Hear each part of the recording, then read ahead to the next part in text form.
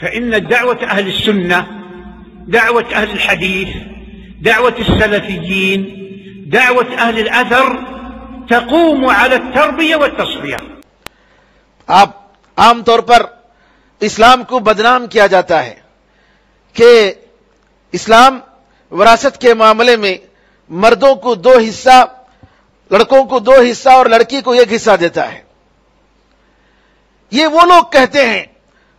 جن کے پاس عورت کو جیسا خیال رکھنا چاہیے، عورت کو جو عزت دینی چاہیے، وہ عزت نہیں دیتی۔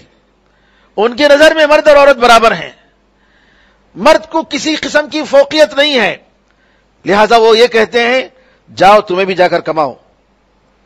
تم بھی کماؤ، جیسے ہم کماتے ہیں، تم بھی کماؤ۔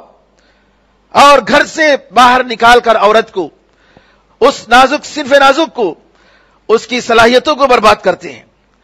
اس کی نسوانیت کو چھینتے ہیں۔ اور بازار میں لا کر اس کو لوٹنے اور کھسوٹنے کا سامان بنا دیتے ہیں۔ اسلام اس چیز کا قائل نہیں ہے۔ اسلام یہ کہتا ہے، عورت عورت کے اوپر جی کمانے کی ذمہ داری نہیں ہے یہ مرد کی ذمہ داری ہے۔ مرد کو کمانا چاہیے۔ مرد کا فرض بنتا ہے کہ عورت کا خیال کرے، عورت پر خرچ کرے۔ چاہے وہ بیوی کی شکل میں ہو، چاہے وہ بیٹی کی شکل میں ہو، چاہے وہ ماں کی شکل میں ہو، چاہے وہ بہن کی شکل میں ہو۔ یہ عورت کا، اللہ تعالیٰ نے جو عورت کے ساتھ جو رحم کیا ہے، اس رحمت کا تقاضا ہے۔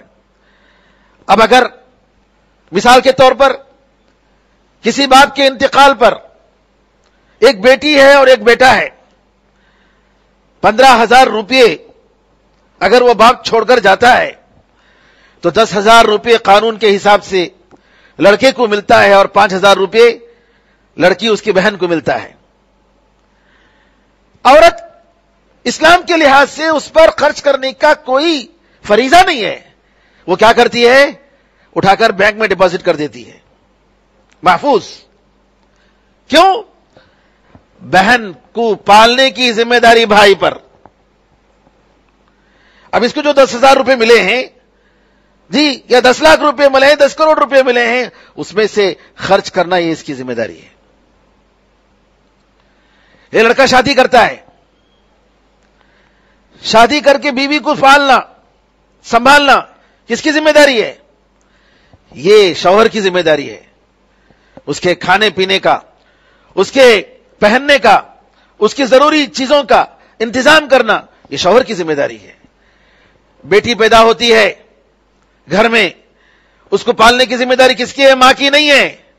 ماں کا جو کام کاج ہے، اس گھریلو اندر پالنا، تربیت کرنا، لیکن کما کر لانا، اس بچی کے لیے کھانے پینے کا انتظام کرنا، یہ کس کی ذمہ داری ہے؟ یہ باپ کی ذمہ داری ہے، ماں کی ذمہ داری نہیں ہے۔ اس طریقے سے جو دو حصہ جاتا ہے، وہ مرد عورتوں پر خرچ کر دیتا ہے۔